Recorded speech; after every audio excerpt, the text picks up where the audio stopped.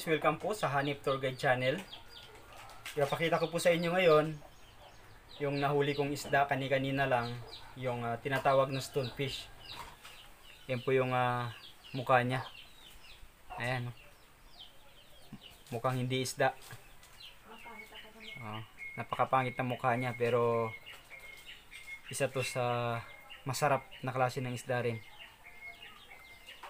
Pero yung ah, stonefish, ito yung ah, tinaguri ang isa sa pinakamakamandag na isda sa buong mundo. Ayan yung mukha niya, oh. Yan. So yung ah, tinik niya ay ah, nandito sa taas. So ito. Ayan, pagka, yan. Pagka napakan po natin yan, yung ah, tinik ng ah, stonefish. Napakasakit po niyan, yan. Yan, andyan yung kamandag, andito yung kamandag sa tinik nito. Ayan, sa puno ng tinik. Pagka napakan po natin yan at nagla, kapag naglalakad tayo sa dagat, sa mababaw na area, dahil hindi siya madaling mapansin dahil mukhang bato lang siya, mari po tayong matusok. At kapag natusok po tayo, mari pong maparalyze yung ah, bahagi ng ating katawan na natusok ng ah, stonefish at maaari din natin itong ikamatay. At sobrang sakit po nito mga ka-channel ano. Itong ah, isdang ito. Ayan.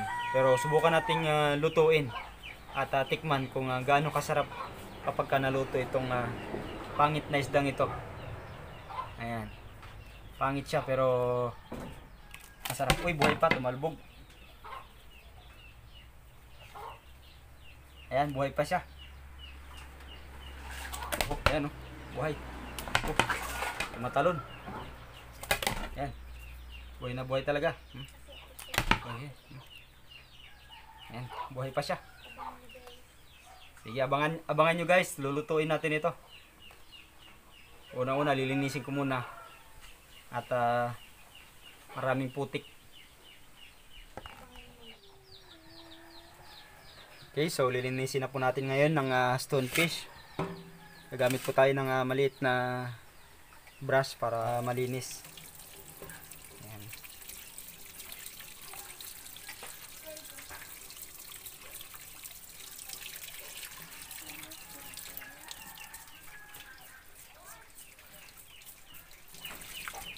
Ayan po, mas maganda na po yung kulay niya ngayon. Ayan na siya oh. So, medyo kulay orange po siya. Ayan. Ayan, buhay, buhay na buhay pa. Buhay na buhay pa siya guys. Ayan o. Nagulundag pa. So, ang gagawin ko, papatayin ko muna siya para hindi ako matinik kapag ka binalatan ko siya.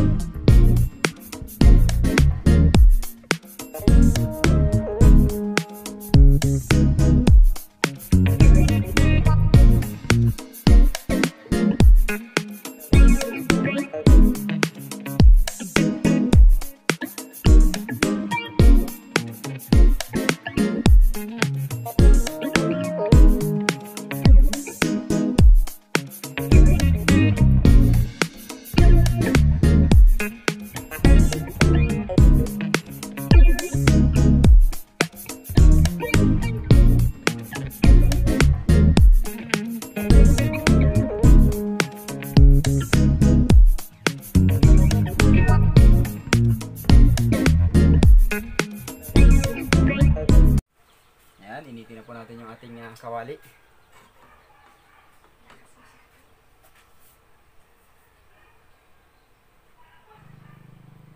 Lagyan na po natin ng mantika.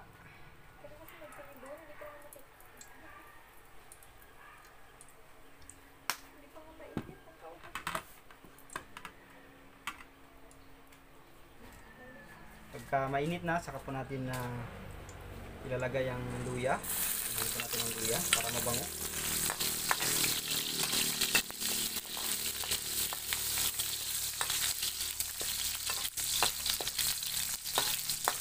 Kayang sibuyas.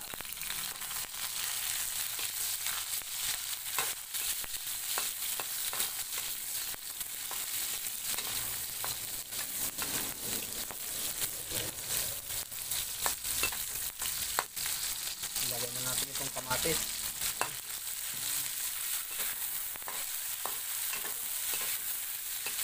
Mabango na yan.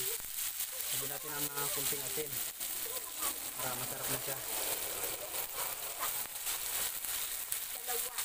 Ang kamatis, lalagay na po natin itong isda. Ito na yung ating uh, stonefish. Ayan, lalagyan natin siya. Ayan.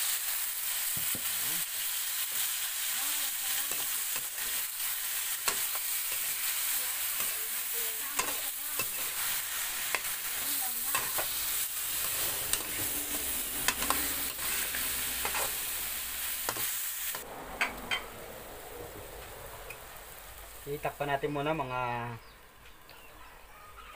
mga 2 to 3 minutes para lumabas yung katas. Patuyuan natin muna sa sariling katas saka natin ilagay yung gata para mas masarap.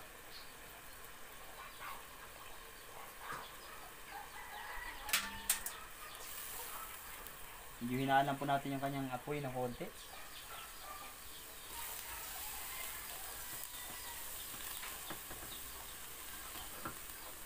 Ayan, tingnan natin.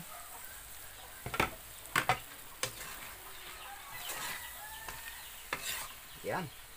Mabango na. Mabango na guys. Mukhang masarap na yung ating stonefish. Lalagyan na po natin ngayon yung ating ah, kakanggata. Po yung ating ah, kakanggata.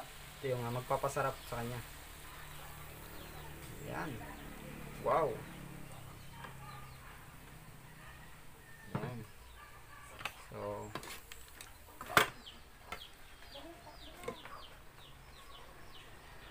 takpan natin muna siya at hintayin natin kumulo.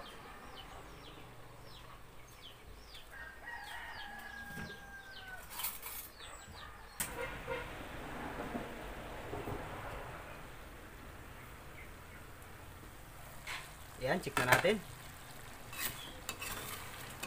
Hindi natutuyo na yung kanyang gata. Yan. Sarap.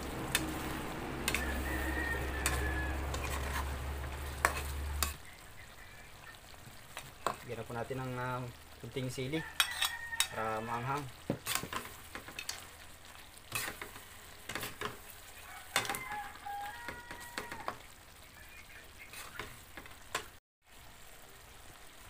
So, lagyan na po natin ng ah, malunggay so, para mas masustansya. Ayan.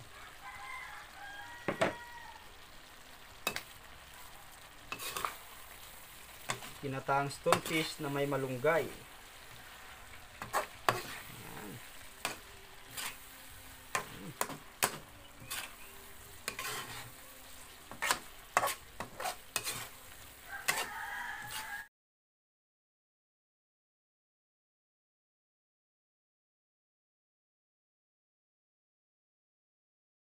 Mana natin ang luto ng aking asawa.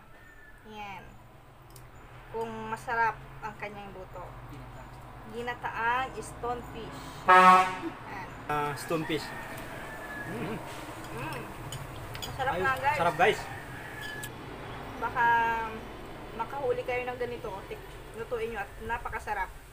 Totoo ngang masarap yung stonefish.